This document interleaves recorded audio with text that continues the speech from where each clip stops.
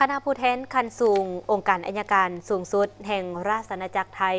ได้เข้าเยี่ยมพบปะห้องประธานศาลประชาชนสูงสุด แห่งสาธารณรัฐประชาธิปไตยประชาชนลาวในวันที่หนึ่งกุมภาพันธ์2024คณะผู้แทนคันสูง องค์การอัยการสูงสุด แห่งราชอาณาจักรไทย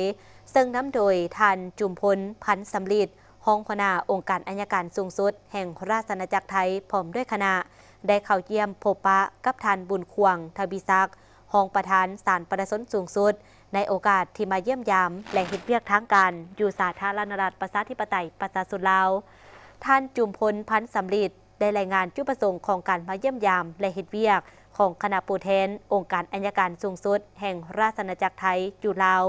โดยได้เข้าร่วมกองประชุมอัยการลาวไทยครั้งที่หนึ่งเกี่ยวกับการหัวมือต้านอาชญากรรมข้ามชาติที่ติดพันกับปัญหายาเสพติดที่ได้ไขขึ้นในวันที่ 31 มังกร2024ที่นครหลวงเวียงจันทร์โดยผลสำเร็จอันจบงาม ประกอบส่วนสำคัญเขาในการรักษาความสงบเรียบร้อยตามสายแดนลาวไทย ไทยลาว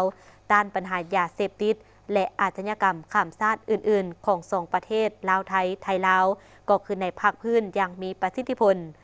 ในโอกาสดังกล่าวท่านบุญควงทวิซัก ได้แสดงความยินดีต้อนรับต่อการมาเยี่ยมยามของคณะผู้แทน ราชอาณาจักรไทยในครั้งนี้ พร้อมทั้งอวยพรคณะผู้แทนที่มาเยี่ยมยามเฮ็ดเวียก อยู่สาธารณรัฐประชาธิปไตยประชาสุลาว มีผลสำเร็จ และเดินทางกลับคืนประเทศด้วยความสวัสดิภาพ